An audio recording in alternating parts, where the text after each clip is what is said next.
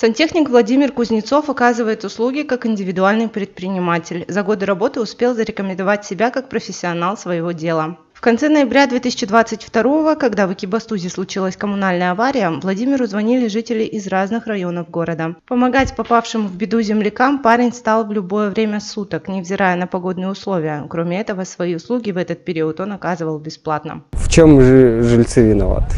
Тут или надо самому браться и помогать, сплоченно. А если никого не будет рядом, как они это все сделают? Вот пришлось взять в руки всю ситуацию. В день ЧС, когда была такая ситуация, получается, сидел дома, уже соседи начали звонить, писать, э, что с отоплением, что случилось. Потом мы уже узнаем с интернета, что произошло ЧП такое.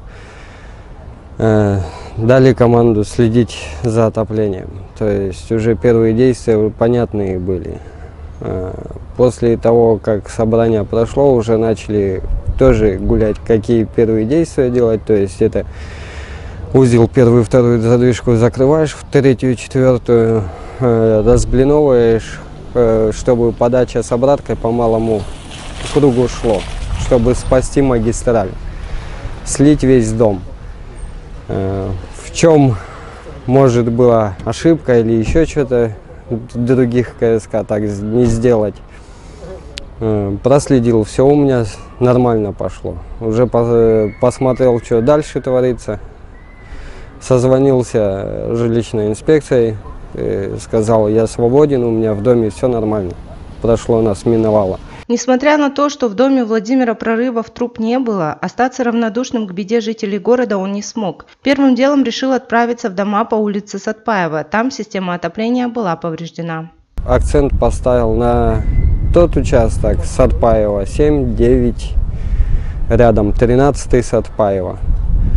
Э, дальше уже как жильцы меня просили, больш, большое спасибо им было сделано правильно, что они уже собрались, начали принимать решение свое. Только надо было им знать, какие первые действия и что именно основное делать.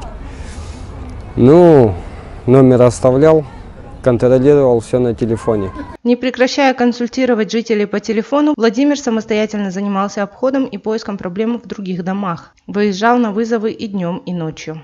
Начали восстанавливать седьмой, девятый подвал уже запустили, потом мы начали запускать постоянно. Тут проблема была в том, что замерзало между плит, лед становился. Э, получается, э, с магазина, ну, друзьям тоже спасибо, вот с магазина Рыбоголовов, спрашивали, что надо, постав, поставляли нам фены. То есть они не поплавят пластик и никакого вреда не нанесят. Привезли мне фены, дали, начали отогревать. Пошел запуск. Садпаева 13 было у нас посложнее. Э, то есть все запустили, остальные пошли, только оставался один дом. Пришлось спуститься в подвал, посмотрел там, а уже лед тоже был. Э, тоже жильцы отогрели в подвале, дошли до конца дома, где уже заходит магистраль. Звонят повторно мне. Говорит, мы отогрели, но у нас ничего не идет. Пошел на обход по магистрали. Был замороженный участок. Ну, по звонку пришлось принять меры, чтобы варить соски, проделать отверстия, чтобы не было разрыва от того, что когда отогревали. И потихоньку-потихоньку запустили. До 11 часов уже магистраль была запущена. В 12 уже начали запускать стояки. Э, местами были тоже проблемы со стояками, тоже фенами отогревали.